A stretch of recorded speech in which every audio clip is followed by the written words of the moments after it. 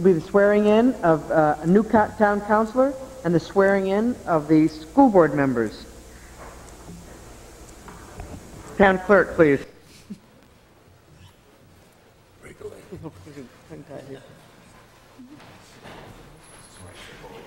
yeah, right. Don't you dare.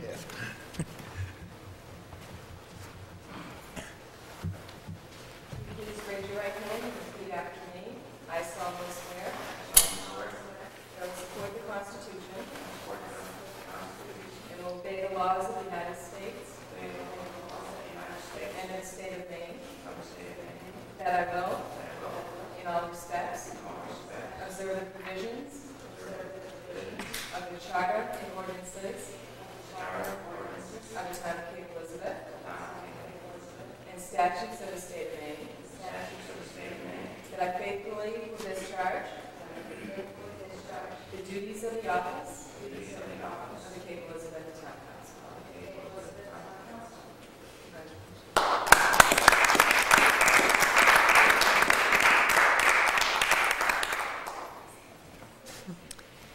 Jennifer and Maria. Raise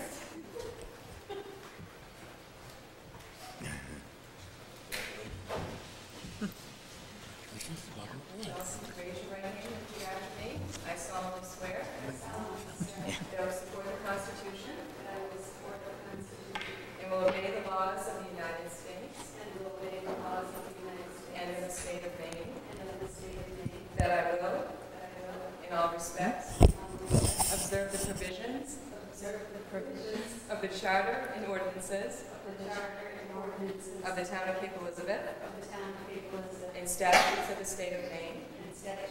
And will faithfully discharge. The duties of the office.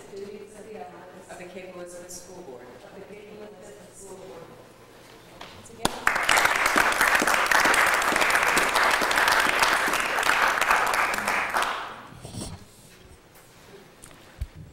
My hearty congratulations to everybody. May I have the roll call, please? Chairman Carson. Here? Counselor Berry. Here? Counselor Fritz. Here. Counselor McGinty. Here. Counselor Lynch. Here. Counselor Roberts. Present. Counselor Ann Swift Kayatta. Here. Thank you. The Pledge of Allegiance.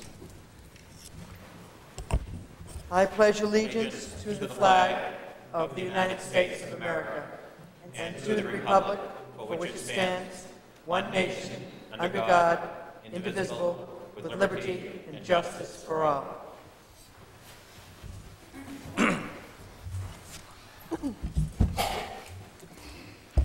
Well, for our audience in council chambers and for our, hopefully our audience at home, we do have a little unusual uh, evening here this morning for the first few minutes. I, um, I'm not going to, I'm going to try not to read this information, but for people, so that you could listen, this is the centennial of the Cape Elizabeth Town Hall, which is an historic building in the town of Cape Elizabeth. This is the 100 years. It was built in June, on June 19th.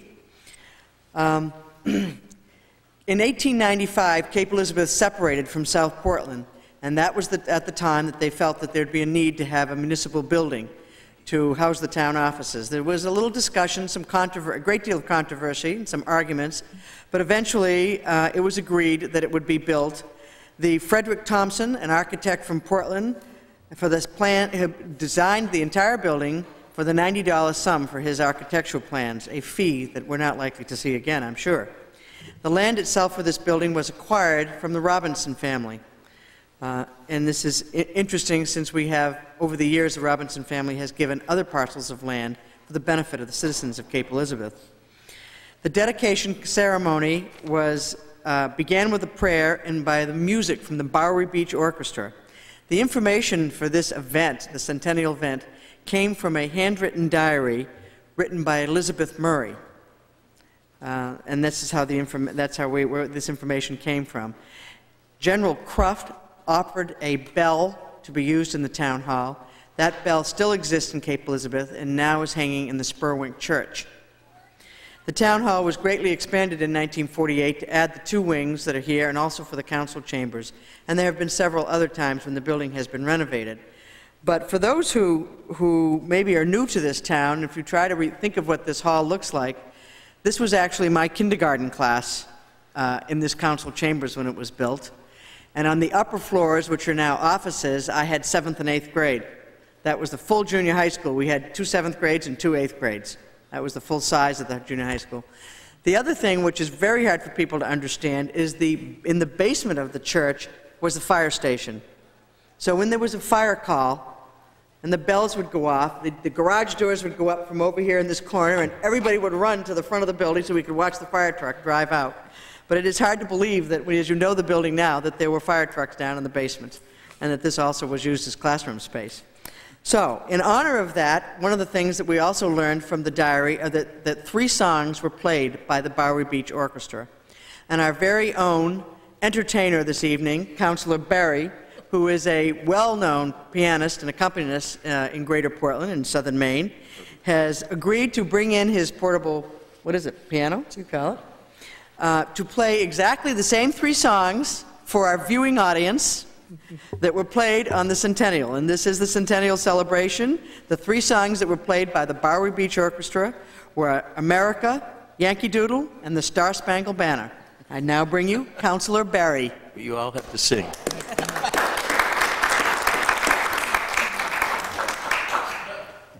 And for those who didn't see the beginning of this, if they click it on during the week to watch the council meeting, they're going to wonder about this. Oh, uh, we want to sing? Hmm.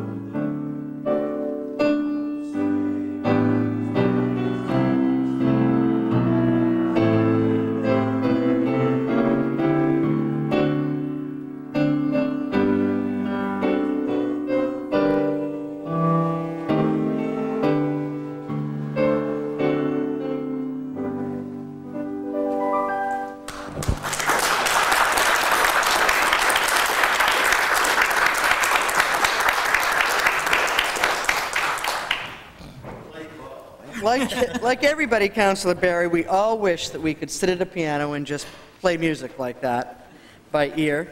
Anyway, those are the three songs. That was the beginning of this town hall building, and this is the centennial year. Making allowances for rheumatoid arthritis, for which Yes, well, you're still doing it very well. So, thank you very much, Counselor Berry. Uh, Reports and correspondence. Uh, Counselor Roberts. I just have one item I'd like to bring up. Uh, I know over the past year around town, as I've been, you know, at the IGA or or down at Jonesy's or wherever you might be, people have been commenting about the four houses that have gone up on Ocean, on Ocean Street, or Ocean House Road, whichever it might be at that point. then uh, trying to give you a difficult time. Why is the town letting them build these houses there? Well, I'd like to thank Mr. Malley. He finally has the, the sign up that indicates that those houses were built in South Portland. So thank you, Bob. That is true. I told him that I wanted to put a sign up there that says leaving Cape Elizabeth just before you get to those four houses, since we don't build in the wetlands. Yes, Councilor Swift Kayatta. Madam Chair, I just want to um, recognize that yesterday was the high school graduation in Cape Elizabeth. I want to congratulate everyone who graduated and I also want to um, thank everyone who participated both in the town um, employee organization and the school employee organization. They did a wonderful, wonderful job to make it a great day for the students and the parents, of which I was one. And um, I also want to bid a uh, heartfelt, um, give heartfelt gratitude and a fond farewell to Pete Dawson, who is the um, outgoing uh, high school principal who will be moving to Tel Aviv, Israel, to head up an American school, high school there. Um, And I also, last but not least, want to thank all the parents who worked so hard on Project Graduation, which took place last night from 7 PM until 6:30 this morning when my daughter trailed in, extremely tired, but very happy, having had a wonderful chem-free evening with her whole class, and it took a, a ton of work by all the parents and the faculty, and I just want to thank everybody. It was a great day and a great evening for Cape Elizabeth. Thank you, and our congratulations to you. I understand you're, not only did your daughter graduate, she's in the top three, four, or 10% of the class. She, she did very well, and we're very proud of her. Oh, that's terrific. Um, Any other reports of correspondence? Councilor McGinty? Um, I'd just like to acknowledge uh, Jim Murray again for um, the Memorial Day Parade. He- He chairs that every year, does a great job, and again, we had a- a good turnout again I this think year. the turnout for that parade was bigger than ever, and more veterans marched this year than I've ever seen. Yeah, it's Great. great. So I'd just like to recognize him. And once again, thank everybody who supported my election and- and voted me back into office. I'll continue to try to do a good job for the town of Cape Elizabeth. Did you, Yes, um, I just wanted to mention that I had the pleasure of uh, awarding a $1,000 scholarship um, that went to the winner of a um, regional waste system essay contest to a high school senior um, in the area. It was not to Cape Elizabeth, um, it was to a student in Freeport, but um, I'd like to see some students next year keep that in mind to, to apply to regional waste system from Cape Elizabeth. Thank you. No further reports? Town manager's report, please. Yes, uh, thank you, Madam Chairman. Just wanted to mention, I wasn't here last week, and uh, John alluded to Memorial Day, and I I just want to join in thanking Jimmy Murray, but also want to thank uh, all of the the different members of the town uh, staff who were involved in helping to plan for Memorial Day, particularly uh, the Department of Public Works, who got Riverside Cemetery all spiffed up and looking quite good uh, for the day. Deborah uh, Lane does an awful lot for the day. Uh, And, you know, there's so much, many of our parks that the goal is always to get them ready for, by Memorial Day, and it was a particular challenge this year. I appreciate their efforts. It was also terrific at the parade, just to see so many folks there, and I think the way Jimmy recognized the, the veterans who were there was particularly meaningful. I've always thought the Memorial Day Parade in recent years has been a- an event where there's a lot of kids in the parade, and uh, parents come to the parade, but when he asked the veterans to raise their hands, it was just uh, absolutely amazing to see the numbers of hands that went up in the audience. And, and as part of that generation uh, who never served, the, the post-Vietnam generation, uh, it gave me an even greater appreciation uh, for it that day and seeing so many there. So thank you. That's it? Okay. Uh, Are there any um, citizens' discussion of items that are not on the agenda? Hearing none, we'll move to the next item. Madam Chairman? Oh, yes, I would like to make a motion that the uh, minutes of the meeting of May 14th and the special meeting of June 4th be approved as uh, read, and particularly commend uh, Deborah Lane, the town clerk, for keeping track of all the people who spoke at the public hearing on June 4th. I thought that was uh, uh, tough to keep track of, and I think she did an excellent job and should be commended for that. With that motion, I move that the, uh, the minutes of those two meetings be approved. Henry, you have to wait for me to announce the next agenda item before you make the motion. No, Not going to do it. All right. Second? It's been moved and seconded. Has it been, hasn't been seconded? Somebody's going to second. It's been moved and seconded to accept the minutes of the uh, May 14th meeting and the June 4th meeting. Any further discussion? All those in favor? I have attention deficit disorder. Item number one, the election of a town council chairman for the year 2001 and 2002. Uh, I would just like to tell, tell people that the council does meet uh, one time for a, for a town council caucus, where we list out all the uh, committees and jobs there are to do in the course of one year where councilors must serve. And so the councilors can have a choice to choose the, the committees that they feel comfortable with or that they want to learn about they, in an area that they want to serve the town. So we have had that caucus, and we have uh, made no votes, but that we have decided by consensus which, which councilors will serve on which committees. So um, we are now talking about the chairman of the town council will be this next uh, first item that we're going to vote on, but I'd like to take one minute to, to talk to the citizens to say that I've served for, in this particular term as my, on, on the town council, where I had served in, uh, well into the 80s, or all through the 80s, that I've thoroughly enjoyed this. I really only had one goal when I took this, the chairmanship for this particular time, and that is to try and um,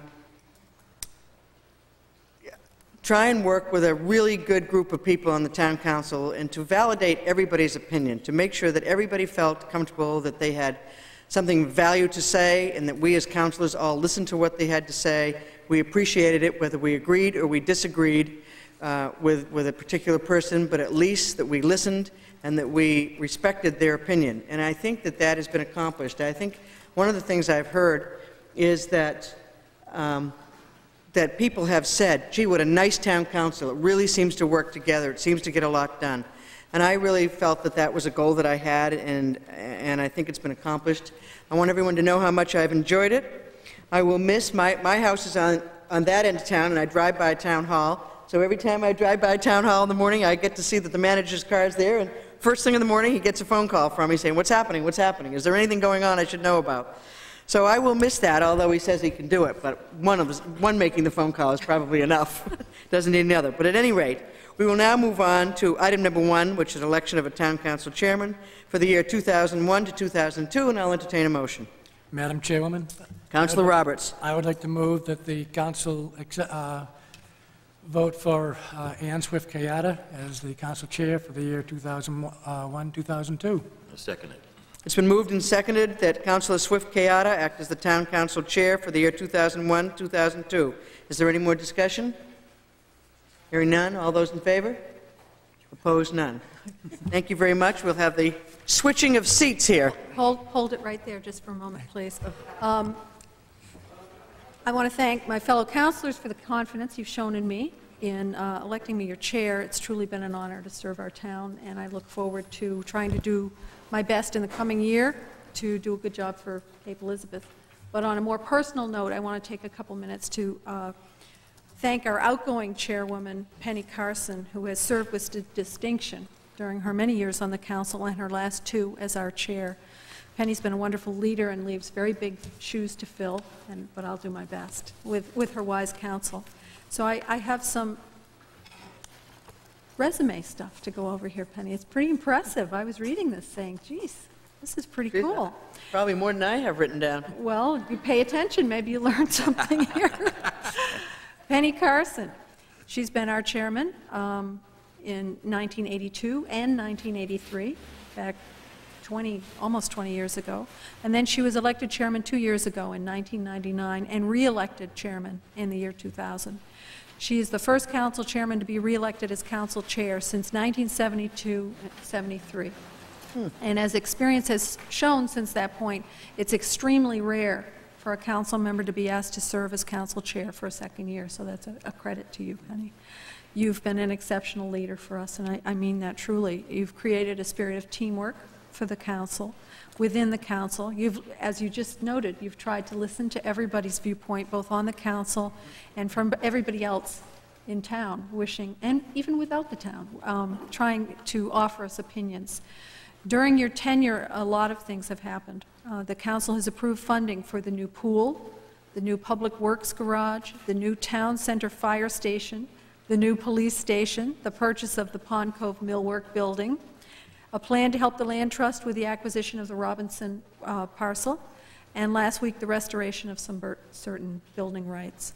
What has been really amazing is that each of the votes on those projects and issues was unanimous, and that has been a credit, again, a credit to you and your leadership.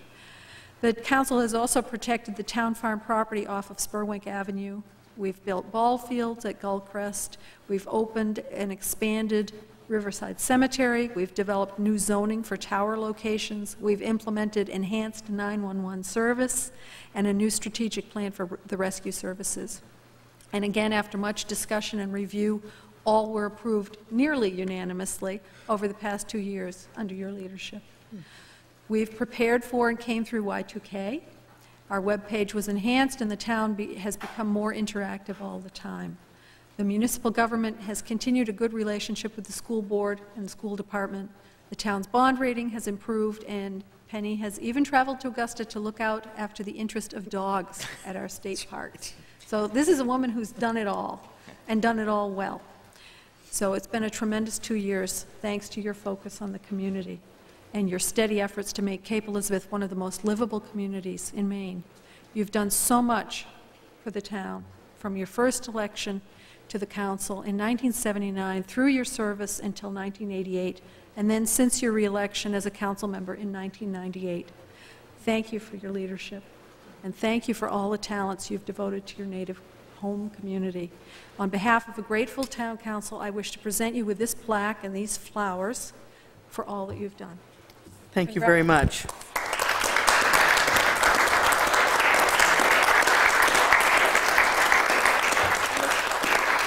Plaque, plaque says, "Presented as a lasting symbol of our appreciation of your most valuable contributions to the town of Cape Elizabeth." Penelope Carson.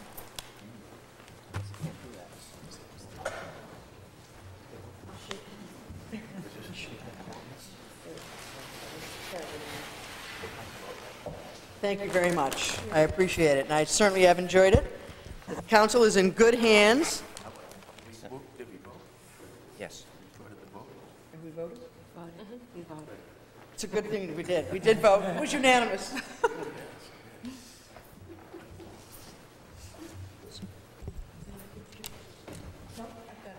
After all that, it sounds like there's not much left to do.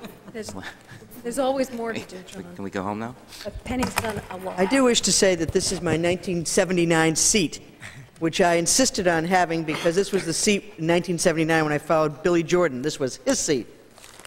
Re- Returning to your home, so That's right. Okay, item number two, adoption of the town council rules. The rules were in your packet, and I don't think there have been any change, changes since the last time these were voted on. Have there, Mr. Manager? No. So do I hear a motion? John? Um, I move the acceptance of the rules of the Cape Elizabeth Town Council as presented. I second it. It's been moved and seconded. Any discussion? Okay. Shall we vote? All those in favor? Against? I think it's seven zero. That's it. Approved. Okay, item number three.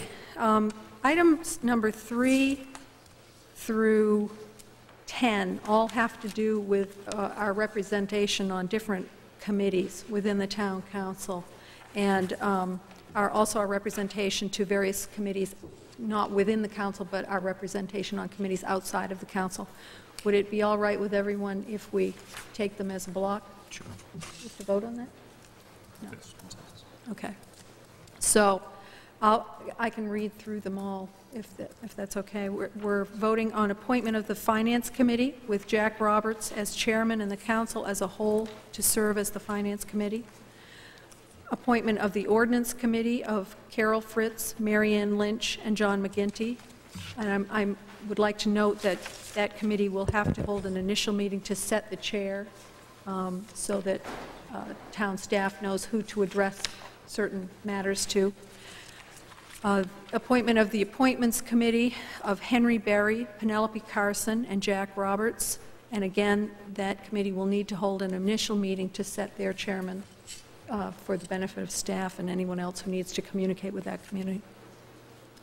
Election of a representative to the Maine Municipal Association Legislative Policy Committee, and that would be Marianne Lynch.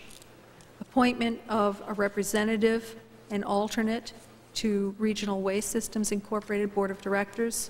That would be Carol Fritz as representative and Henry Berry as the alternate. Appointment of a representative to the Greater Portland Council of Governments Executive Committee. That would be Marianne Lynch. And also for the Greater Portland Council of Governments General Assembly, a representative, John McGinty, and an alternate, John Roberts Jr. And then appointment of a representative to PACTS, to the PACTS Policy Committee, and that would be Michael McGovern, our town manager. Do I hear a motion? Counselor Fritz? Um, May I just note that I think one is missing, um, Uh-huh. was the alternate to the MMA Legislative Policy Committee, which was myself. That's what I happen to know. Then, I- I- unless I hear objection, I think we can add that to the list.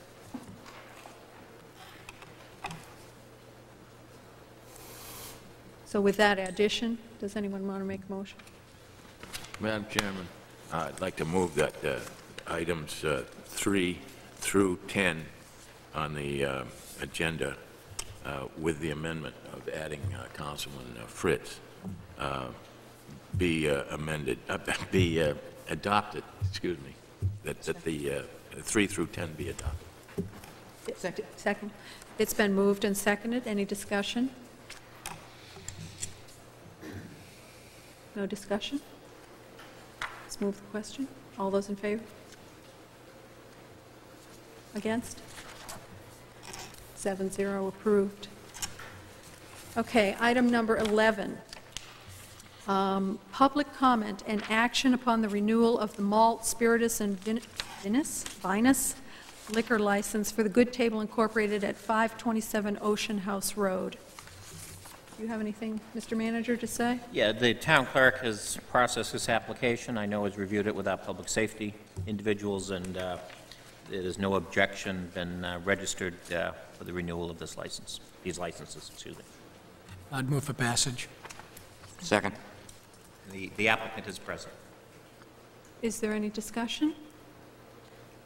What, uh, Is there any I'd like to public ask, uh, comment? what Counselor what are Berry? the requirements here? Do they have to review uh, uh, tax returns or uh, uh, inventory or uh, in- any details of the business, or just public safety? I'll turn that question to the manager. Th- This truly is, you know, it- really set up for a situation like the old port, uh, which, which we don't have here, or, or a place where you have restaurants that, uh, because, it's felt because of some of these types of activities, may be a little too boisterous uh, and cause some excitement in the neighborhood. Uh, That, that is why you have this, and that's generally what you, what you might look at, and in this instance, uh, while I'm sure there's some boisterous good times there, they're, they're not so boisterous that they interfere with the general enjoyment of the neighborhood by others. I live in that neighborhood, and it's never been boisterous. Any other questions or discussion? Did we move it? It was moved. Was there a motion? Yes. And it was seconded? Okay. All in favor? Against? The ayes have it, seven zero. Um, Item number 12, receipt of the draft Cape Elizabeth Greenbelt Plan and the proposed referral to a council workshop. Do you want to? Dan Chase, the chairman, is here. Good evening. I am Dan Chase. I'm the current chair of the Conservation Commission. On behalf of the commission, just wanted to say that uh, we're pleased to submit this draft of a updated Greenbelt plan to you and uh, for your review.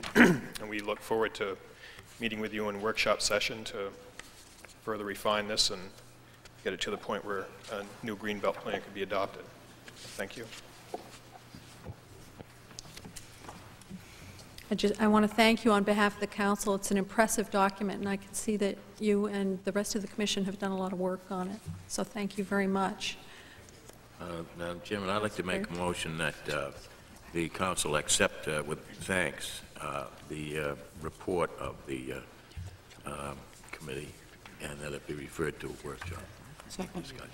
It's been moved and seconded. Any discussion?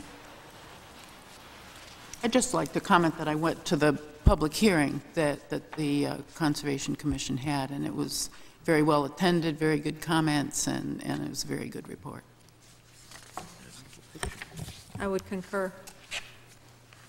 All those in favor of uh, the motion to accept this report and then refer it to a workshop? Against? None? It's- unanimous. Um, I I presume we will just get together with our calendars at the end of the meeting and try to set a date for the workshop. All right, item 13, receipt and possible action on a revised report of the Playground Study Committee. We received a res- a revised report included in the town council packet. Is there anyone here from the, uh, yes? I'd- I'd like to just comment very briefly, Oh, to say, ahead, the playground committee, one of the representatives asked me the other, eve- the other day, of what time did they need to be here? I said, oh, you'd be safe if you arrived by 8 o'clock, so I'd like to commend the town council for delaying the meeting until 8. Mike's right on schedule as usual. Um, My name is Tina Harnden, um, and I am a member of the Playground Committee. Our chair, Lisa Silverman Gent, could not be with us this evening, unfortunately, so I am here in her stead. Um, Just quickly for um, council mem, for people who um, have not um, been apprised of what the Playground Committee is and what we've been up to for the last 15 months, we are a committee of 11 um, people representing various sectors of the town, school, parents. We've been meeting since February of 2000 to draft solutions to renovate our rapidly disintegrating school playgrounds and hopefully build a new playground at Fort Williams for our non-school age population. We presented a draft of our findings to town council at two workshops in May, and we've come before you to tonight to present what we hope will be our final report, um, which you should have received a copy of sometime late last week. So I hope you've had a chance to look that over. I will not go through all the details of that, but um, again, just for the um, audience and members who don't have that in their hands, and hopefully to answer some of your questions, I just want to raise a few points quickly. Since we last came before you at our May 14th workshop with you, um, quite a few things have occurred that I think are of note and worth mentioning. We met with the planning board on June 5th at a workshop. They were very supportive of our project. We presented all three plans to them very briefly. Um, they concurred with Code Enforcement Officer Bruce Smith and Town Planner Maureen O'Meara that the renovations to Pond Cove and Middle School do not require site review. The um, proposed new playground at Fort Williams will possibly, most probably require um, a zone change to accommodate for its location. We've discussed this um, with the council before, and we agreed with the planning board that we would come back at that time when we're ready to move on to the Fort Williams playground, um, to bring our plans in and go through the, the process as necessary.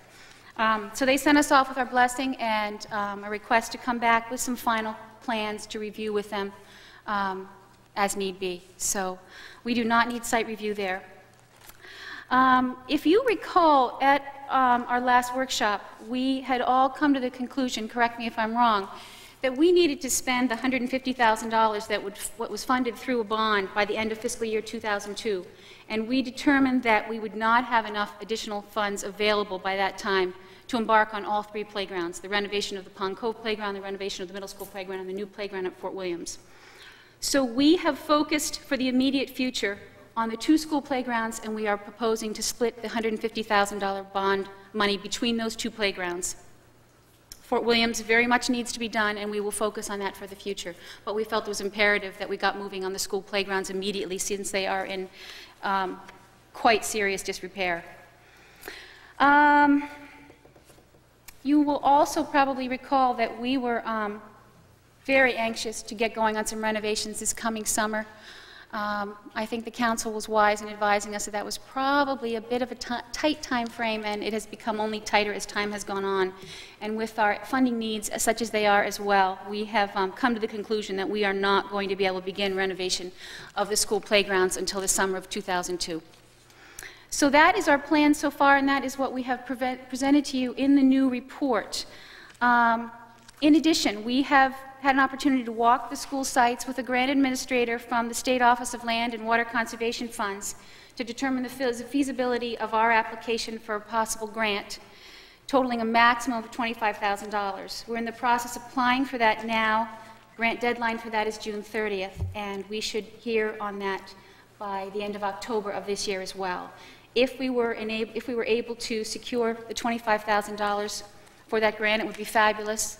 We need it. And most likely, we have been advised by the grant administrator that money would be available for the middle school playground, but not the Pond Cove playground. Um, one of the tenets of this grant is that it cannot be a playground that is exclusively for the use of school children. It must be available to the public as well. And they felt in reviewing the Pond Cove playground, it was pretty much, because of its location, exclusively a school-use playground. So that is where we stand on that. Um, a representative from our town insurer also toured the playgrounds, as a matter of fact, that same day to determine how severe our safety issues were. I was not there, and I'm going to let uh, Mike McGovern or perhaps Ernie McVeigh, if he's able to come in later, speak to the conclusions um, of that walkthrough. We also were able to meet with Tom Leprad from the Town Library Trustees to discuss our proposal for the outdoor classroom section of the Pond Cove Playground, which um, takes advantage of the existing garden space behind the children's room of the library, which abuts the Pond Cove Playground. Um, Tom was very supportive of our program. Um, he couldn't speak for the entire Board of Trustees. They have yet to meet since he met with us. Their next meeting for the month is June 21st. Um, we came to the conclusion that probably the best approach for that outdoor classroom, if it could be a part of our playground plan after all, would be some kind of a collaborative effort with the trustees and perhaps the garden club as well. Um, it's, an, it's a classroom space that we had originally intended to serve all members of the community. It will be a quiet space. It will be available at playground time. It will be available during school time for um, teachers to bring classrooms out, and it certainly would be available at any other times for um, library programs or anyone else in the town to use. That um, is something that's been put a bit on the back burner now. It gives us some time to really look at that more thoroughly and really work collaboratively with the trustees and perhaps the garden club. But that's as far as that's gone at this point. So um, we were excited to have their initial enthusiasm, but they'll need to discuss it as a group at their meeting on the 21st and get back to us. We meet again as a playground committee on the 27th of June, so that'll give us an opportunity to regroup on that particular piece of the project. But for now, that piece of the project has been um, sort of put on a wish list. So that's, that's saving us a little money up front, too, on the Pond Cove Playground. Um, we also met with a professional fundraiser who assisted us in coming up with what we feel is a realistic fundraising plan for these proposals. It's a lot of money that still needs to be raised, um, but we do feel that we have a pretty solid plan. You will notice that we have also scaled back the costs of all of our proposals, and we've reworked the projects into more affordable phases. If all goes according to plan, we could undertake Phase 1 of the Pond Cove renovation and Phase 1 of the new middle school playscape next summer, summer 2002. We've cut the overall cost of all three playground projects by approximately $120,000, which represents about a 20% savings off the initial cost of the proposals. So the new figure for all three projects is about $478,700. You are going to notice some number differences in the report that you have. I'm sorry.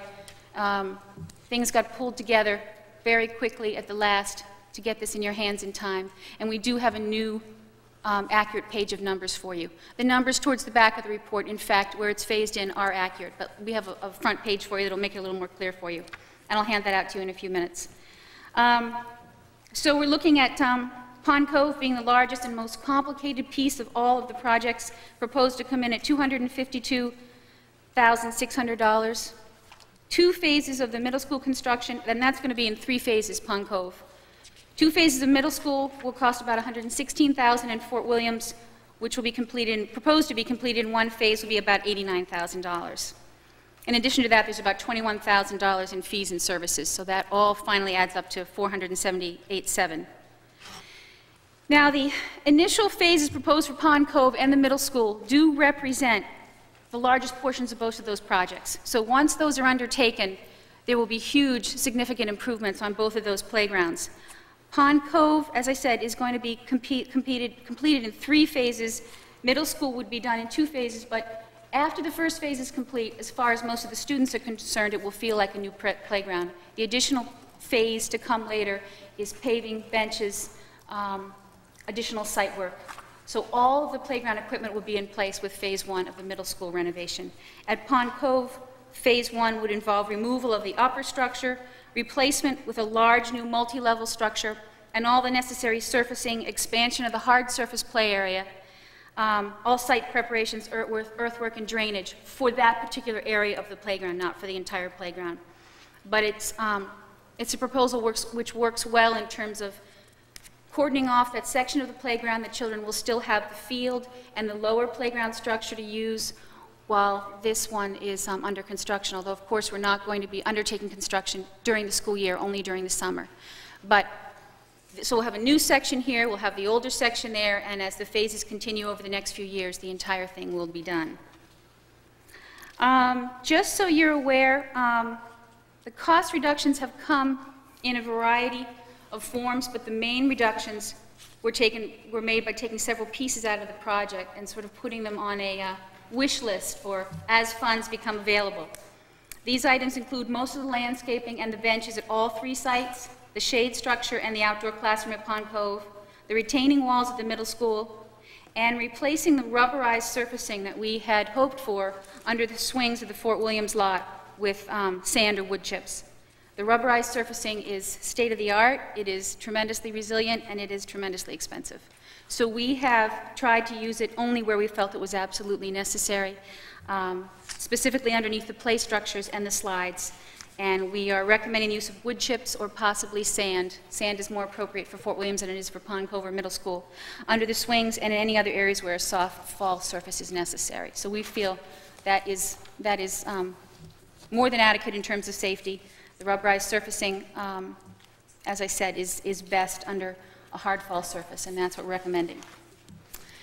So our landscape architect, Pat Carroll, is here tonight, and he can speak to any specific questions you have about the design of the playgrounds. Um, Laura Briggs is also here with us this evening.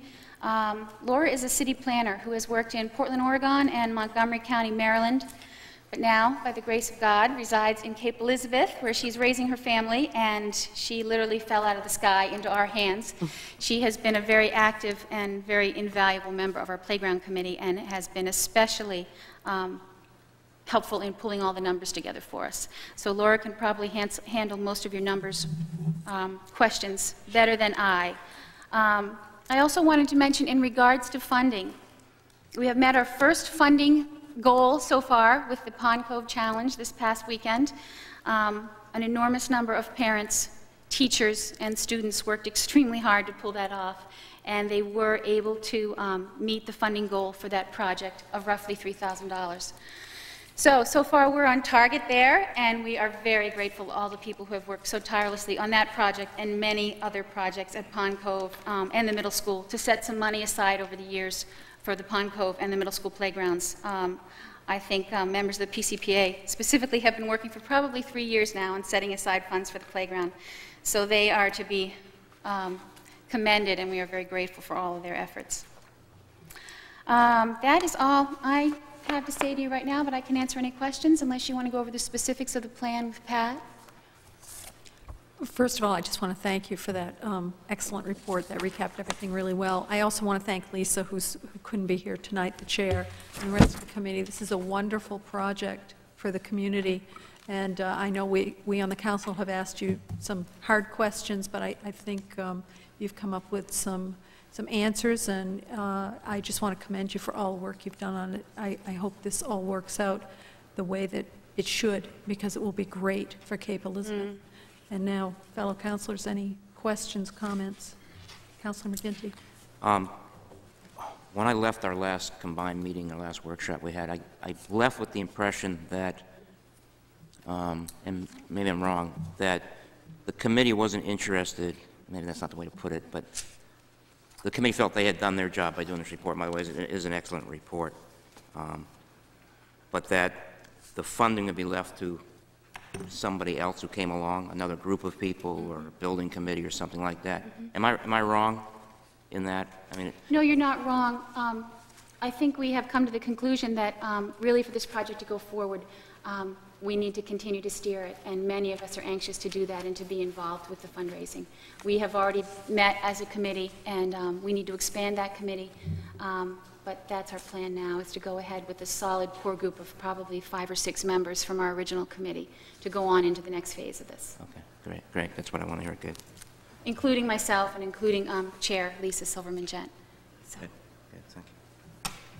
Other questions? Councilor Robert? No, I was going to move, uh, I'll wait for the sub-question before I make the motion. I guess my question was, where do we go from here with this now? I mean, it's a great report, it's a great plan, a great funding strategy. Um, Obviously, at least some of the members of the committee want to stay involved. Do we need to create another committee to implement this? Do we need to commit a, create a building committee? I guess I'm at a loss on where we, the next step to take.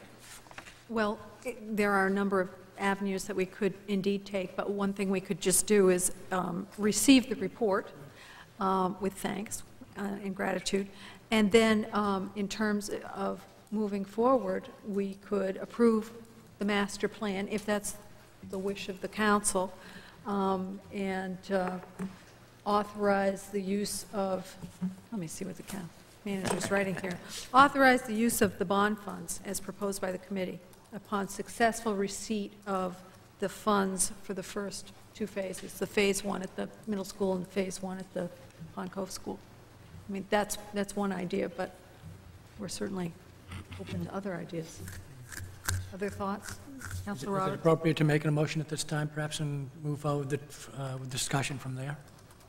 Get a motion on the table, yeah, and then All right. discuss. I'd move then for acceptance of the playground study report and approval for the work schedule as detailed uh, in the report.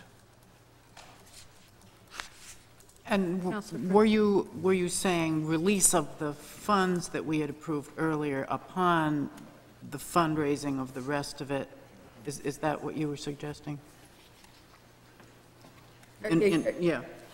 Uh, what, what I had just been talking about was to authorizing the use of the town's funds that were authorized by the bond um, as proposed in the committee's plan in this master report that we have before us. Once we have received um, the other funds for the first two phases, in other words, releasing the 137,000 more dollars, town dollars, once the necessary, I think it's another 53,000, approximately 53,000 uh, for those first two phases. Once those have been received from the other fundraising sources, or committed at least. Received or committed. Received or committed. Is that concept in your motion? I believe it is. If, if you believe it is and you made the motion, then it must, it must be so. But I'm glad Councilor Fritz clarified that. I mean, I, I would feel most comfortable if, it- if it were part of the motion, if, if you were willing. So release, you would be, feel comfortable in releasing the town funds contingent upon the town um, receiving the, the other funding sources, the other money Receipt- necessary for the first phase. I- I think that someone, I think you, Madam Chairman, said receipt or commitment. In the, for example, the land and water conservation funds, those are likely to be committed uh, before they're actually, they're actually received after the work is done. So, uh, in, you know, in some cases, in the terms of, with, as we did with the ball field, Little League, provided it's a bona fide organization, i.e. one of the parents' associations commits the funds, we don't wait to necessarily have to have those in hand provided, and it's a bona fide organization. That's worked out very well with the ball fields. You might have seen a letter in your packet. Uh, We just received a, a check uh, from Little League uh, for a pledge they made five years ago, continuing to pay year. You want me to rephrase that then? How about acceptance of the playground study report and approval of the schedule for work, providing the funding is, uh, and a commitment for funding is in place?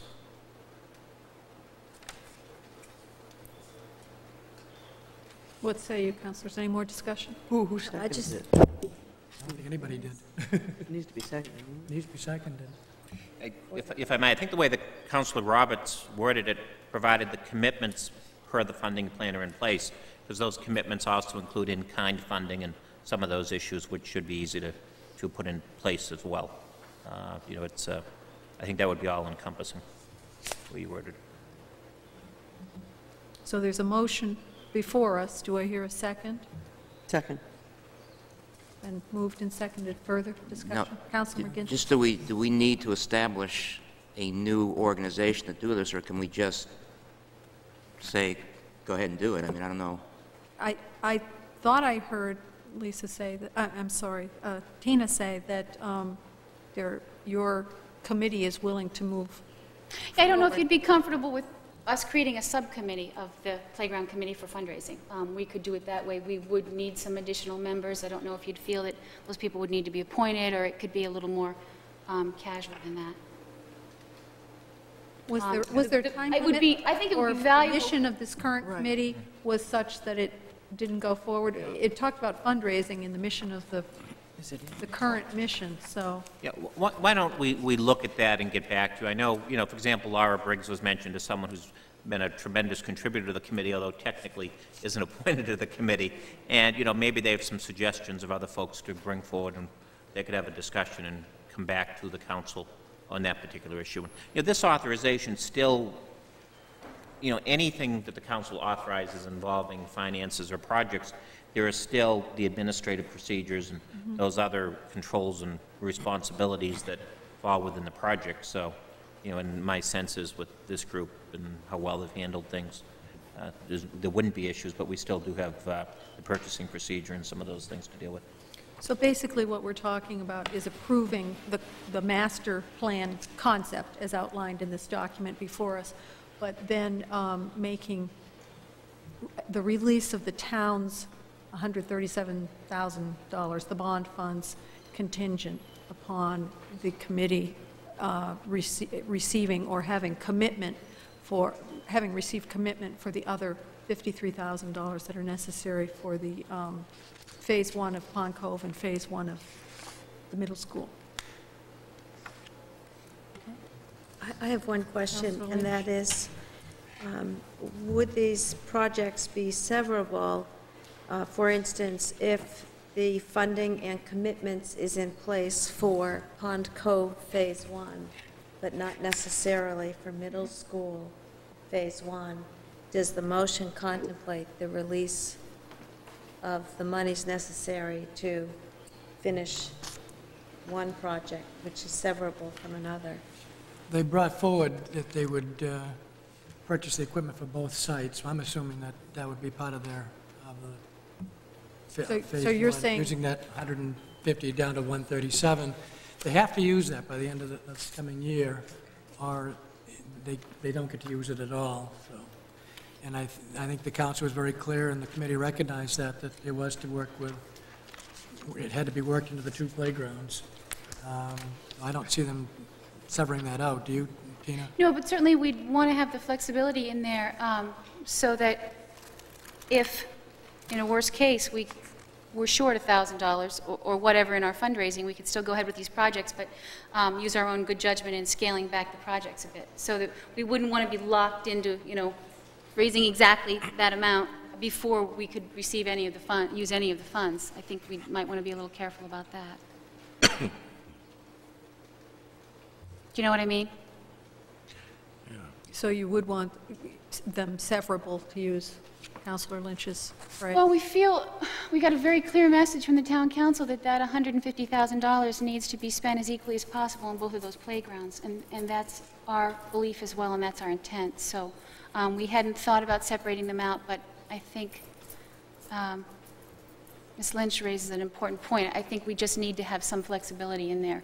Um, And as I said, if, um, you know, we don't meet all of our fundraising goals, obviously we'll have to scale the project back to some degree, and certainly, you know, this is a dynamic process, and we would continue to stay in touch with you on it, but, um, So is what you're saying that you would, any fundraising shortfalls that could potentially occur, you would address by reducing the scope of the project, but still focusing on both Mm-hmm. the Pond mm-hmm. Cove and the middle school at the same time? So you would just mm-hmm. reduce the scope at both of those so that the, the town's money would still be going towards both projects? that would be our intent, yes. Because that, that's what what I heard the council at the workshop saying, that they wanted both those projects focused on, rather than if there's a short come to throw all the money towards one or the other. Councilor Roberts. I'd just like to make some comments, I guess, about the committee. We haven't really done that, but the time and the effort that the, this group has put in has been, I don't think I've worked with any group in town that's put more time into it, more energy into it, and perhaps more frustration over a period of time, too. And they, and they do need to be commended. Um, They've really done a great job. It's, uh, plus the staff, uh, people that were involved in all those committee meetings. When uh, Councilor Chair, uh, Carson appointed me to, to sit in with that group, she said it'd be, you know, just a few meetings. I think we're perhaps at 100 meetings later, but tha- tha- that's all right. And I would also like to comment, and uh, that a lot, the scope of what they're suggesting, it really does need, uh, in these phases to be done. Uh, When the playgrounds were originally sited, there was little or no thought given into where they were placing these things. One of them is on, just on a plain ledge outcropping. Um, And when the council voted for the money originally, I think we had the idea that we could just um, step in, put the playscapes back on the rock, and that would be fine. Well, as they got into it, they re- realized they couldn't do that. And the playgrounds really, and somebody else stated it, and I guess I'll just paraphrase them, the playgrounds have been the stepchild. Um, The, the town really hasn't put much attention to the playgrounds. The school has not budgeted or done anything for the playgrounds either. Um, And when you look at where these, again, where they're sited, a lot more work than just plunking down equipment needs to be done, and they've addressed that. Um, And the majority of the money will go for the playscape um, equipment. Uh, And the fundraising will have to address those other issues later. So I guess just uh, a plea to the audience out there, if there's some benevolent benefactor that would like to see great playscapes for the children of Cape Elizabeth, we're more than willing to have you step forward and help us out. So, But again, thank you to the committee, they really have done a great job. Thank you, Councilor Roberts. Is there any more discussion before we move the question? Seeing none? There's a motion on the table. Does anybody want it read back? No? Okay. All those in favor? Oh, yes, sorry. Opposed? None.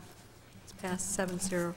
Thank you. Thank you very much. Thank you. Laura has just passed out to you the um, correct set of numbers to make things a little clearer for you. I'd also like to mention to you that, um, as you know, we were trying so hard to get something done on those playgrounds this summer. Um, That is not feasible now, but we see no reason why we couldn't do some minor adjustments this summer, such as putting swings on the middle school playground. There haven't been swings there for several years now. The swings would be placed in the position where they're originally going to be placed. The site work and everything could be done at once. There's no additional cost there. That would be an- a big upgrade for that playground, and it wouldn't incur any additional cost. Um, I- don't think any kind of a um, complicated bid process would be necessary. We're just talking about um, a couple of sets of swings. So that's something that we're looking forward to doing. Um, We have not, as a committee, formally taken a vote on that yet, but um, that is an opportunity to use some of the funds that we already have to go ahead and make a minor improvement out there. We're also looking at um, what could we possibly do at Pond Cove this summer, um, if we have to wait until next summer to do any major renovations out there. And the committee is looking at the possibility of one or two possible standalone pieces of equipment, such as a climbing wall or a climbing dome, or um, they have swings out there, thankfully.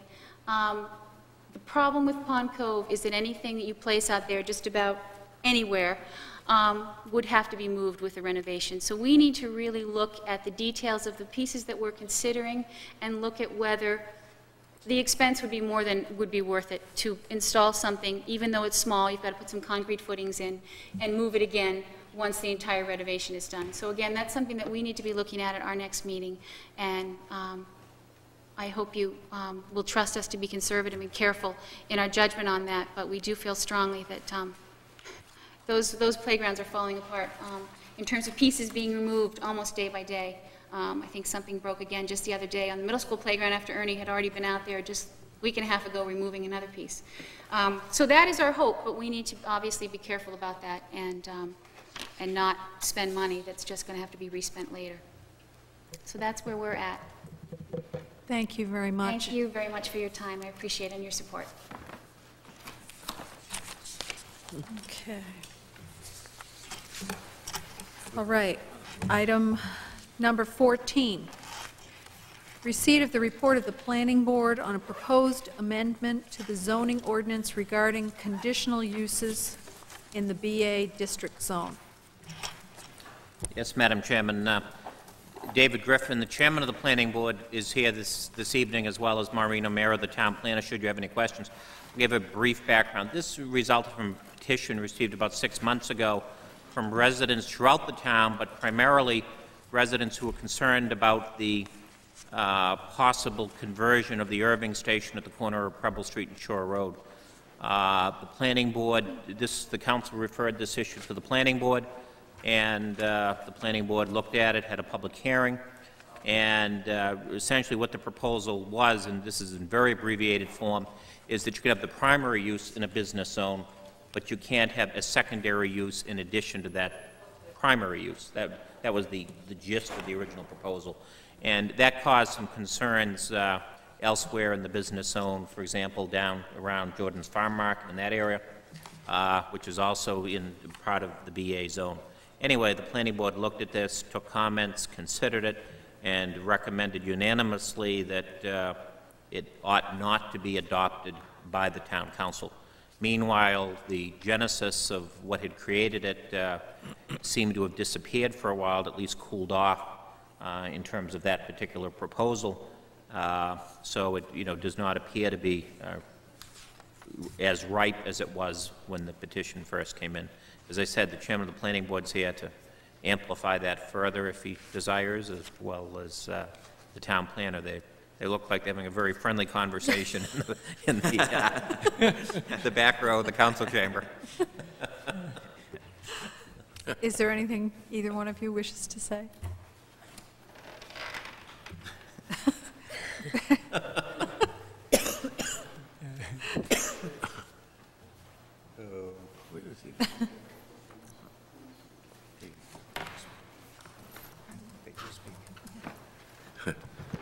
Somebody going to play music here tonight? Missed it. Yeah. I'm Dave Griffin, Chairman of the Planning Board Committee, and briefly, all I would like to say is that we held a hearing. We heard uh, quite a few bits of information, um, basically for the proposal, and we heard from several of the owners of property and business in the BA zone, which were definitely against it and felt that the restrictions were too much for them. Uh, After we looked at the ordinance that's in place now, I think the board's consensus was basically that we had enough in the ordinance to control uh, changes and that uh, changing that ordinance wasn't necessary. That's basically the gist of it. Any other questions? Thank you, Mr. Griffin.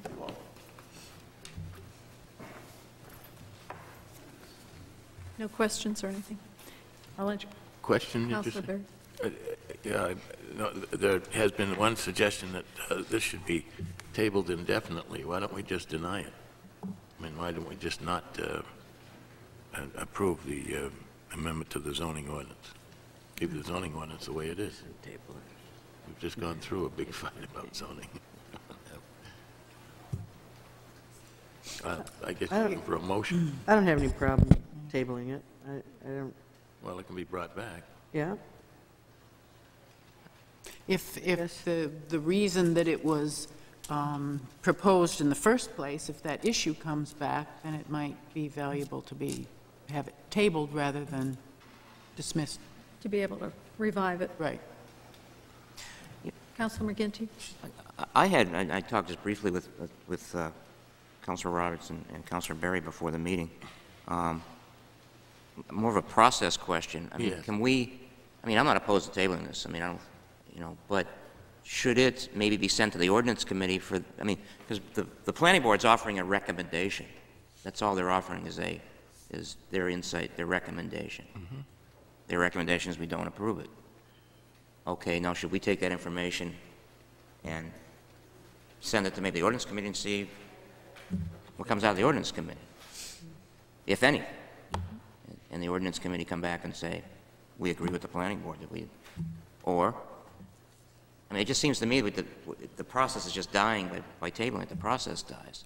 Does the manager have anything? No, I, I think, I think Councilor McGinty is correct. If the council wants to have an opportunity to discuss it further and, and deliberate its merits, it would be appropriate to uh, refer it to the ordinance committee. That's why the, the, the suggestion said after an opportunity for discussion, it was recommended to be tabled indefinitely because it, it, that the thinking when that was prepared was that Councilor McGinty or someone else might make that suggestion, and if the council wishes to do that, that's fine. I think the planning board's uh, position has been made uh, clear, and I think they've thought it through well, and I think that we should not uh, change the zoning ordinance. So you, you would be in favor of just denying it? Yes. Rather than tabling it? Yes. Indefinitely? You can always Councilor regret. If we sent it to the ordinance committee, would we be able to discuss other concepts? Or just this proposal as it is, and up or down? The ordinance committee can discuss whatever it chooses to discuss. Oh, Sure. Then, yeah, I would, I would think we could send it to the ordinance committee for, to see whether maybe there are some other ways that we might deal with the issue. Councilor Roberts? Apparently, there really is no issue at the present time, and I'm not sure that the ordinance committee wants to get bogged down in something that's not that important. We've got a 7-0 vote from the uh, planning board. I don't have any problem referring it to the committee, but then just let it die there, I guess, rather than having you, or, or just plain table it indefinitely. But why do we want to waste an awful lot more of peop- man-hours on something that's pretty much doesn't need to be, no further action needs to be done on it, other than just, uh, That was my thinking. As a member, Lynch? as a member of the ordinance committee, I'd like to just kill this tonight, whether we do it through indefinite postponement or by outright denial, I, I'm somewhat indifferent to, but I don't see a lot of reason to send it to the ordinance committee. And just a process question, uh, the ordinance committee could take up this kind of issue on its own motion anyway at some Yes. point in the future Oh, without having this Hanging document over. around. Yes. So, Okay, thank you. Any other? Is there a motion? There's no Questions, motion on the comments? floor yet, is there? No. Does anybody want to make a motion? I'll make a Make a Councilor Berry? motion that we uh, do not uh, take any action and that the matter be dismissed. That we do So not that- change the zoning ordinance. Okay. Do Second. I hear, I'm sorry. a second? Second. Okay. Any discussion? Okay. All those in favor?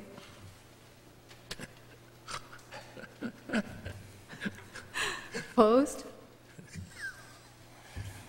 Six, one. Favor. Okay. Then it's killed. Um, Item number 15, action to consider the approval of a revised fiscal year 2001 appropriation for the Department of Public Works. Would you like to speak about this, Mr. McGovern? Yes, Madam Chairman. Over the years, the Public Works Department has been very good to the town and has given us hun- hundreds and hundreds of thousands of dollars in unspent monies at- on June 30. Uh, Fiscal year 2001 is not going to be one of those years. Uh, As a result of the uh, the extended winter, the number of storms, the the fact that they occurred over the weekend, uh, there was just so much overtime incurred, uh, as well as fuel costs going up, the diesel fuel for the trucks, uh, gasoline for a few of the trucks, uh, as, as well as the heating of the, the new garage was higher than had been estimated, electricity was higher than estimated. Uh, All of those things uh, could result in as much as 50,000 above the amount that had been originally appropriated. Uh, We have, uh, there's there's also, I should mention, uh, I got a question about from a councilor today, the storm drain clean, storm drain cleaning uh, bid had been out for three years, and it had in fact expired, and the company was still doing it, and it was, it was based on a certain number of catch basins, and we've added a lot of catch basins with developments over the years, and that, that's about $3,000 is the problem as well, and that's been addressed in next year's budget. We've also addressed, uh, through the good work of Eric Olson of Public Works, we've found ways to reduce the heating consumption uh, at the Public Works garage, and we've also turned out that forest of lights uh, that Councilor Roberts used to be able to see in back of his house when the garage first opened. We've considerably cut down the outside lighting. So we've been looking at uh, reducing the cost, and uh, I feel confident that with, with a reasonable winter uh, this coming year, we, we, we won't have a recurrence of this problem. So I would uh, encourage the council to revise the appropriation. Where do the funds come from from this? Where do they come from from other items uh, coming up in the agenda? I'll answer the question all at the same time.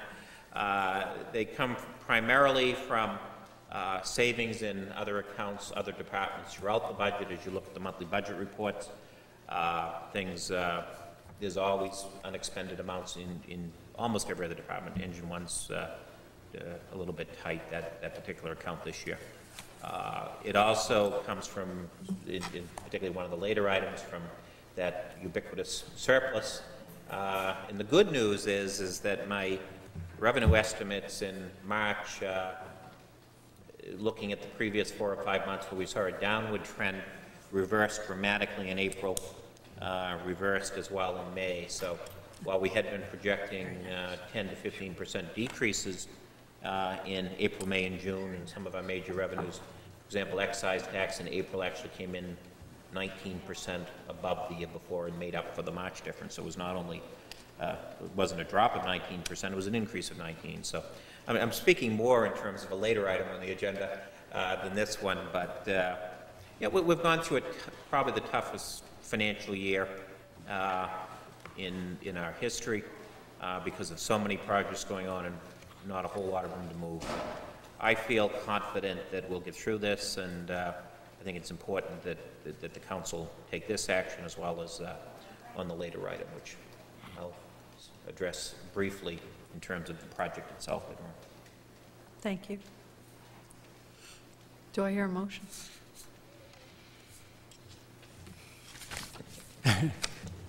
Yeah, I'm- I'd move, Going to be a that- couple of these. A reluctant motion. I will move to revise the FY 2001 appropriation Department of Public Works by how much? $50,000. By $50,000. Second. Discussion. I don't uh, think I mentioned publicly, that is offset, did I? Yes, I was going to, Yeah, go ahead. well, I was just going to match, e- even though the, the appropriation is $50,000, the net impact is $30,000 because of the good work of someone to get a grant from FEMA for the snowstorms. So it's still not great news, but it's 30,000 net impact, not 50,000 net impact. The good work was Bob Malley working with George Flaherty at County uh, EMA. Several communities actually got money through George this year and um, helped them out considerably. Uh, It was kind of a a windfall that I think a lot of the towns didn't expect to get either. So That was nice. Any So what's, further? what's the amount? Uh, 50? The the appropriation would have to be 50,000. 50. But the financial impact is 30,000, because on another line, we've gotten an additional 20,000 in revenue. This has no effect on the tax rate, though. No, No, the tax rate is what it, what the tax rate is. I mean, at this point. I- I- some people might want to know that. No, that's a good point to bring up. Thank you, Council. Any further questions, discussion? No? Okay, the motion, the motion, the motion is before us. Um, All those in favor? Against? None? It's unanimous. Okay, thank you. Um, Item number 16, action to consider the proposed final enactment of the state school subsidy. Uh, There was nothing attached to this particular item. Um, Mr. McGovern, would you like to speak about it, or I can just No. read? I can just read what it is. The Maine legislature approved a state school subsidy to the town of Cape Elizabeth in the amount of $2,493,757. At the time the fiscal year 2002 general fund budget was adopted last month, the amount we believed we would be receiving was $2,440,989 for a or a difference of $52,768. The town manager recommends the 52,768 be placed in a reserve fund for support of the fiscal year 2003, in other words, the next year's school budget. Uh, This year, as the result of the Maine legislature, we had an expected $436,480 loss in state school subsidy, reduced to a loss of only $41,358. However, we have a grim outlook for the Maine legislature to continue to provide this sort of cushion to the extent that enabled this additional $395,122. Madam Chairman, Yes, Councilman Carson. I move that we approve the state, new stu- state school subsidy to the town of Cape Elizabeth in the amount of $2,493,757, and that uh, I additionally move that the, we, we follow the recommendation and put the additional $52,768 in a reserve fund for support of the fiscal year 2003 school budget. Second. Then moved and seconded? Councilor McGinty. Um, Two questions, or one statement, then a question statement. I would prefer that we use this money to reduce the current tax rate for this fiscal year, um, as we have done in the past. This year, we didn't put a statement in our budget, but we have previously put statements that if we received any additional money, that would be used to reduce the tax rate. I'd prefer to do that. Um, The second thing, are we in danger, if we just take this money and throw it in a reserve fund, are we in any danger of the, the state looking at us and saying, we gave you extra money, you didn't even use it, you put it in a reserve fund? Council, uh, I'm sorry, Manager McGovern. Yeah, I, I was concerned about that latter, I was concerned about the first point, because I knew that question would come up. I was also concerned about the latter point. I did specifically address this issue with uh, the legislator who I think worked the hardest to get this extra money for Cape Elizabeth, and that was uh, Representative Janet McLaughlin, uh, along with, with Senator Bromley and, uh, you know, legislators from throughout the state, uh, Representative Bliss. The, she, she thinks this is, I, I don't mean to quote her, but I will, she thinks this is good, prudent action in terms of the grim outlook for the next year. Uh, every year, the, the cushion issue becomes greater and greater in terms of the size of the cushion, uh, the, the, the spread between the subsidy and, and the cushion amount. Next year, we're estimating approximately the issue instead of 436 will be $600,000 without legislative action. Uh, the legislature is currently working on the Part Two budget. I wasn't home to see the news this evening, see if there's any news on it. But you know, the, the they need to raise taxes at the state level in order to provide additional funds now for the Part Two budget. You know, some of them are in areas that many of us would not object to. Cigarettes, for for instance, I keep that editorial comment to myself, but should have probably. But uh, nonetheless. Uh, you know, looking at the school funding list, looking at the last legislative bulletin in the Maine Municipal Association, where they trash the fact that these cushions occur, uh, be a challenge for Councilor uh, Lynch when she goes to Augusta to the LPC. Uh, you know, I just think it, it's very prudent uh, fiscal management to recognize that fiscal year 2003 is going to be an extremely difficult year uh, for the school department, and uh, uh, you know, the, the, you could, yes, uh, you know, legally you can't reduce the tax rate now because the budget has to be set by by May 30. Eh, But yet, at, at the same time, if that was the desire of the council, you know, even though you adopted the budget, the charter requires it to be adopted by March 30th. Uh, it's the assessor who sets the tax rate, and if the council you know, gave a consensus, you can't instruct the assessor under the law to set the tax rate. But if you, you know, if you refuse to put this in a reserve fund, we would get that message that that's what you wanted to have happen. So it, it would be an impact of about six cents uh, in the tax rate. Instead of an increase of a dollar six, dollar seventy, there'd be an increase of a dollar sixty-four. But I, I still think it's in, in the school department's best financial interest, and particularly the taxpayers' interest, uh, that we look ahead to the obvious uh, difficulty we're going to be facing this coming year. I just, I just still have a- a concern that we get this money for education and we don't spend it. And, you know, I mean, I I understand everything you said, and I don't disagree with anything you said, except, you know, I'd rather use the money now than, and then deal with the problem for the 2003 budget when we deal with it a year from now. It goes back to- the principle, John, that you, you approve the subsidy, which you are doing as part of this motion. But secondly, you approve the overall appropriation for the school department. You're not changing under this proposed motion the appropriation for the school department. You're putting these into a reserve fund, but they would still, they still need to be appropriated for schools. Uh, In other words, they're limited Yeah. to the appropriation that we voted on, Yeah. so they can't spend this. So you have done the two things the State Department of Education will be looking for. You've accepted the subsidy, and you've also appropriated that full subsidy plus the entire required local option, as- I forget the exact wording in the, in the, the motion that you passed last month. You're doing all of that that the required, and- and then some.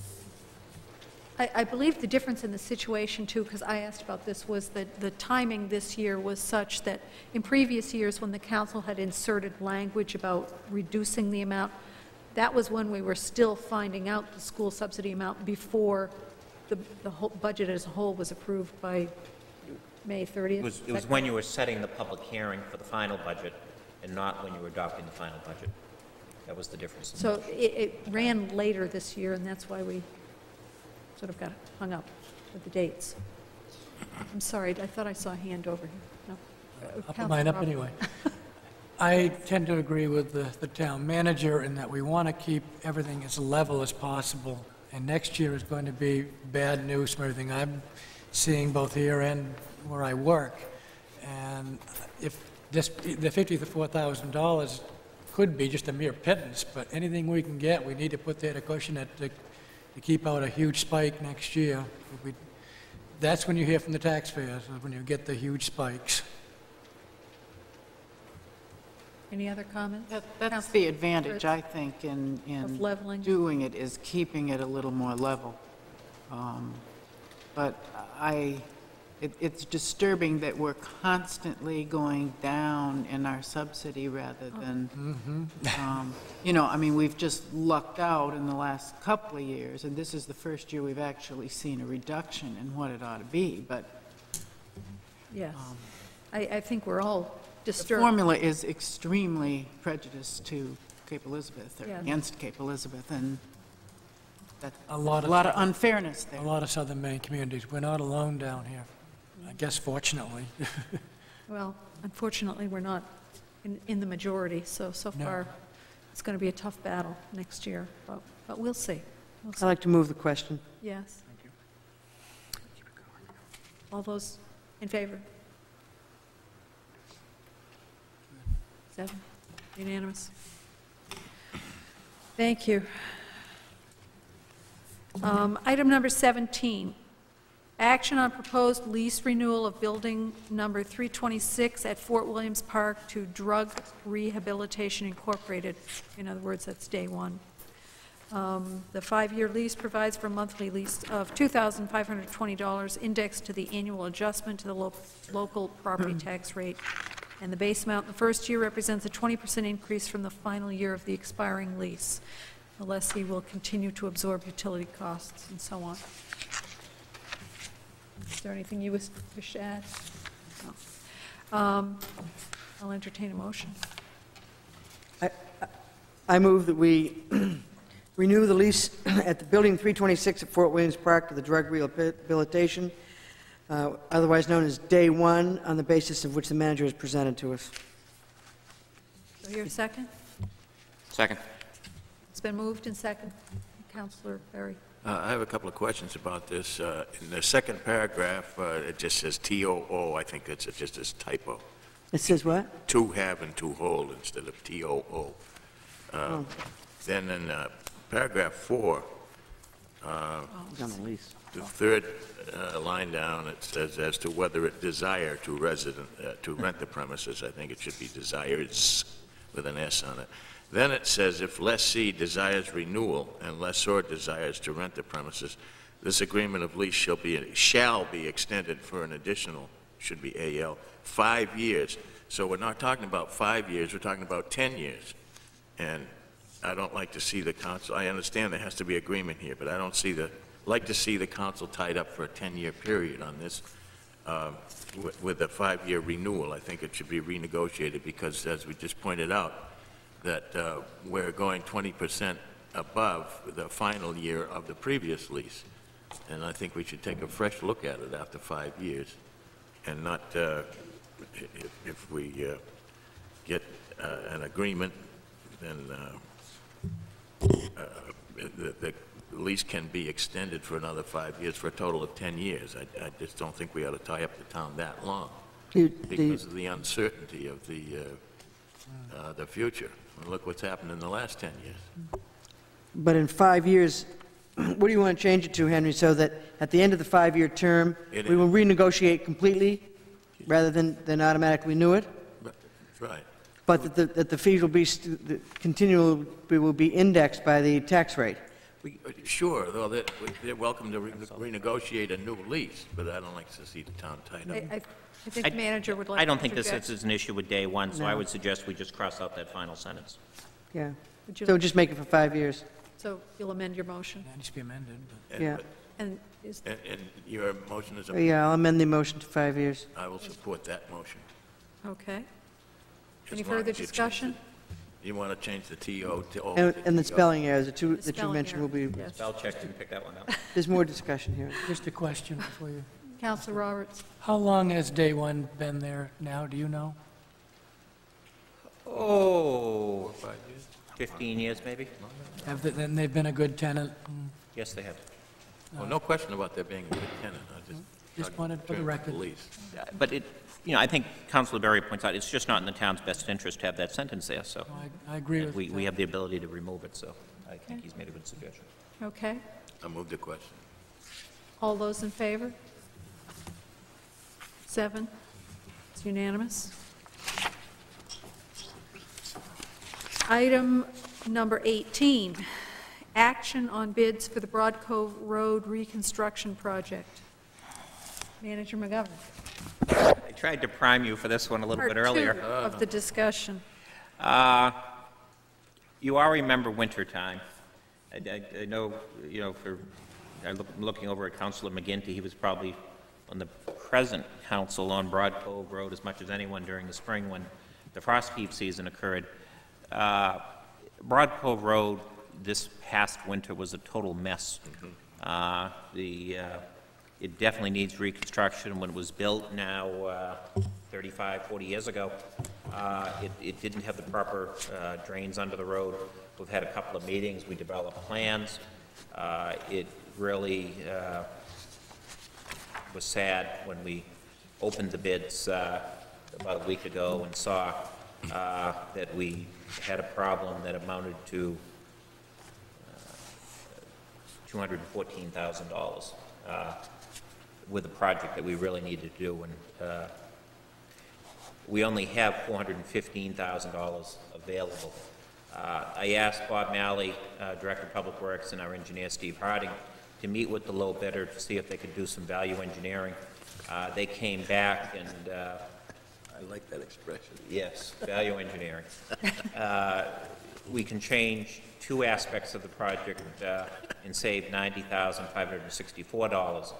Uh, That said, I I do recommend that the bid be awarded to Dearborn Construction for 472,967, that we have a contingency of approximately 7%, and that we continue to fund construction and administration inspection uh, for a little over 28,000, drainage easements, legal engineering for 4,000, for a total budget of 539,000.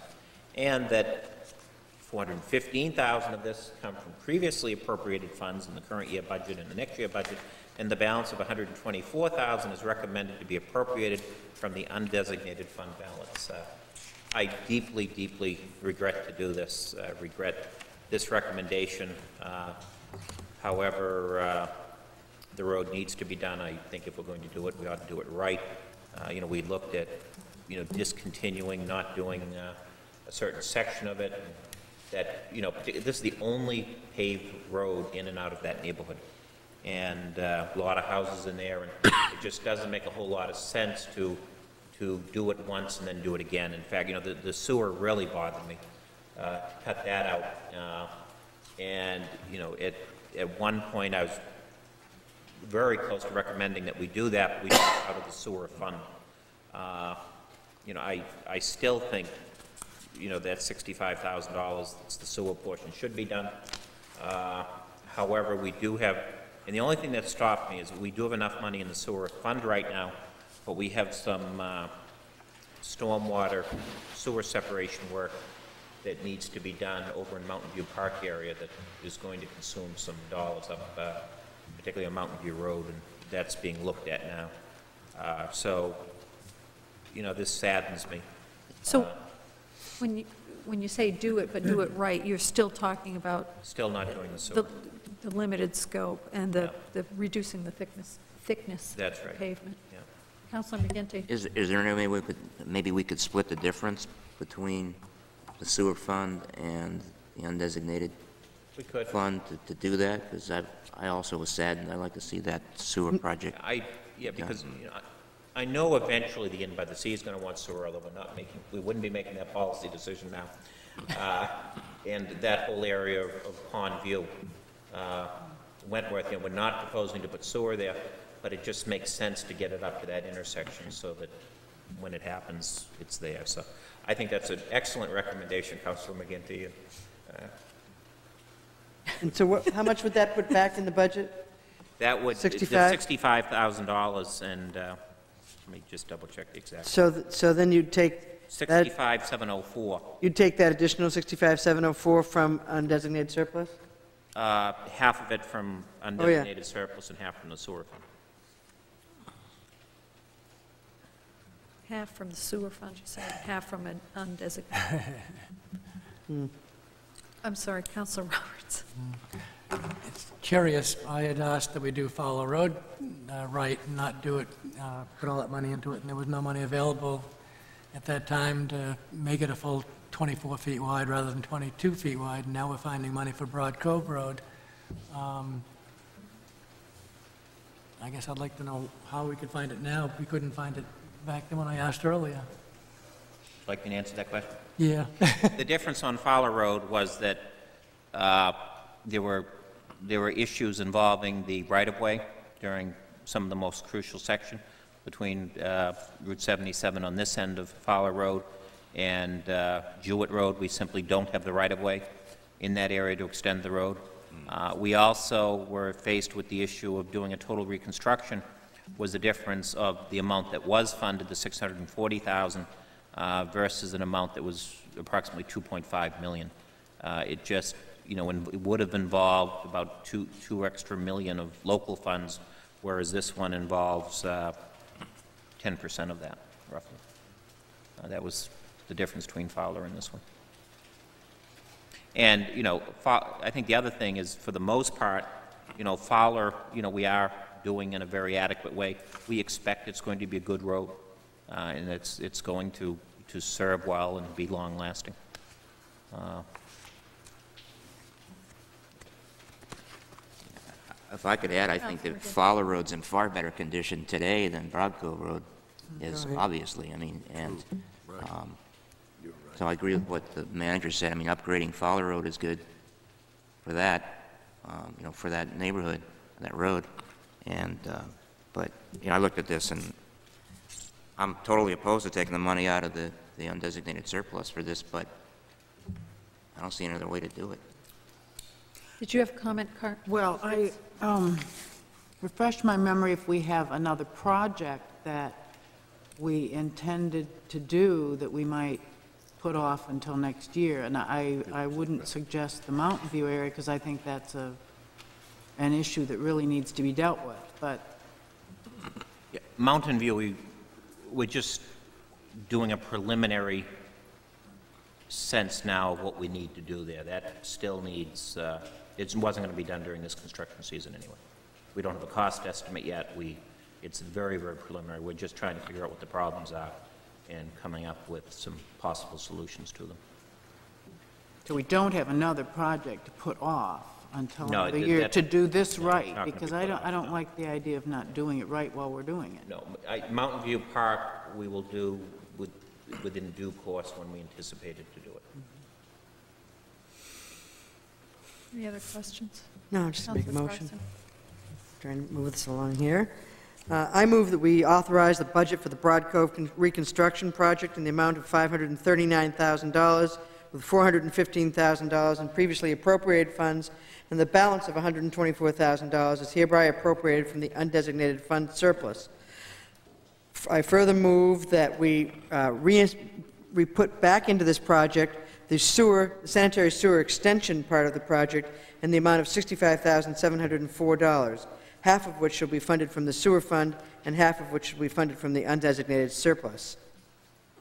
Second. And I, oh, and, and the- to continue the motion, and that the, that the manager be authorized to let the bid to the Dearborn Construction Company. Oh, that's part of it. Now do I hear a second for the rest of that? Yes, I'm doing my best. thank you. Thank you. Any further discussion? All those, uh, seeing none, all those in favor? I think it's seven, I'm sorry, John? I Yeah, um, Seven, seven zero. Motion passes 7-0. Thank you.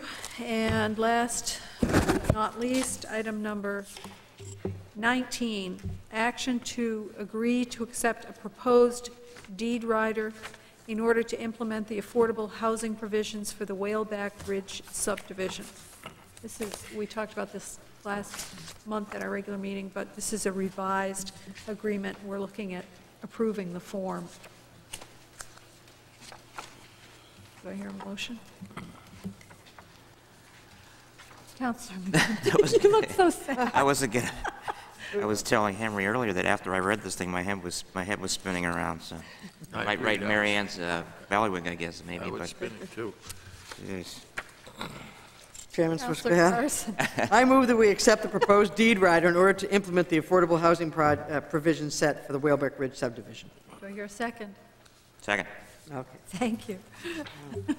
Any discussion? We're just relying on the town attorney, right? That's correct. Any further I, discussion? I have just one suggestion, because since this is potentially running with the land and, and um, will be enforceable for a long, long time, I noticed that the eligible purchaser provisions at the top of page two are as published by the State Planning Office or the Greater Portland Council of Governments. And this, I'm reading at the very top of this, and to the extent that both of those agencies may change in the future, I would suggest that uh, some additional language be added by the attorneys, but something to the effect that, um, or some other state or regional agency which publishes such data.